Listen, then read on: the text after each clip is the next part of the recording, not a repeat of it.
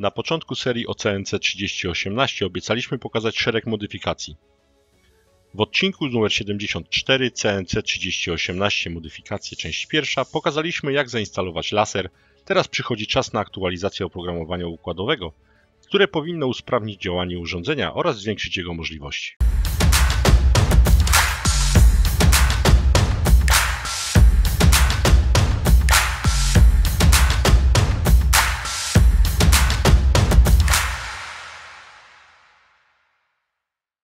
Standardowo CNC 3018 jest wyposażona w oprogramowanie układowe GRBL w wersji 0.9. Z informacji pochodzących ze strony projektu dowiadujemy się, że aktualna wersja tego oprogramowania to 1.1. Aktualizacja do nowej wersji wprowadza poprawki błędów kodu źródłowego oraz nowe funkcje. Opis funkcji nowego oprogramowania w języku angielskim znajdziecie jak zwykle na stronie projektu GRBL. Szczegółowe informacje dotyczące zmian w języku polskim dostępne są jedynie jako materiał bonusowy przeznaczony wyłącznie dla patronów naszego kanału. Linki znajdziecie pod filmem.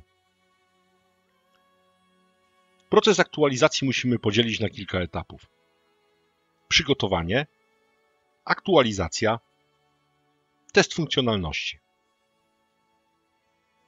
Zanim przystąpimy do jakichkolwiek działań, należy sprawdzić, czy urządzenie działa poprawnie. Sprawdzenia dokonujemy w celu wyeliminowania ewentualnych problemów po zakończeniu aktualizacji. Z doświadczenia znamy wiele takich przypadków, gdzie nieużywane od jakiegoś czasu urządzenie nie funkcjonuje poprawnie, a jednak ktoś wgrywa do niego oprogramowanie. W efekcie, po jego wgraniu coś nie działa i pierwszym podejrzanym jest nowy firmware, co de facto nie jest prawdą, a problem wynika z błędu operatora urządzenia. Po sprawdzeniu poprawności działania urządzenia eksportujemy zawartość pamięci EPROM, wykonując swego rodzaju kopię zapasową obecnie działających ustawień urządzenia. Wgramy je ponownie po aktualizacji. Backup najłatwiej wykonać wykorzystując dodatkowe funkcje programu Laser GRBL. Łączymy urządzenie z komputerem PC. W oknie terminala zobaczymy informację o aktualnej wersji oprogramowania GRBL 09J. Z menu GRBL wybieramy GRBL Configuration. W efekcie zostanie wyświetlona tabela z obecnymi ustawieniami urządzenia zapisanymi w pamięci EPROM. Naciskamy Export. Zapisujemy plik pod przyjazną nazwą. Do wykonania aktualizacji będą potrzebne pliki z oprogramowaniem układowym pobrane ze strony projektu. Link do strony pobierania znajdziecie pod filmem. Będziemy potrzebować również oprogramowania, którym wyżej wspomniane pliki załadujemy na pokład naszego CNC. Można by się tutaj pokusić o kompilowanie kodu ze źródeł przy wykorzystaniu Arduino IDE. Istnieje jednak prostsza metoda i to ją właśnie Wam zaprezentujemy, wykorzystując program Xloader. Program pobieramy z linku pod filmem. Aktualizacja.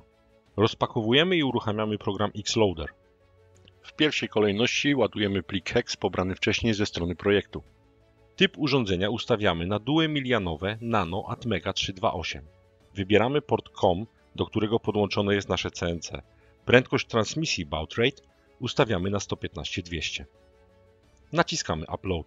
U dołu programu zostanie wyświetlona informacja Uploading, potwierdzająca proces przesyłania danych. Po zakończeniu w tym samym miejscu zostanie wyświetlona informacja potwierdzająca zakończenie procesu.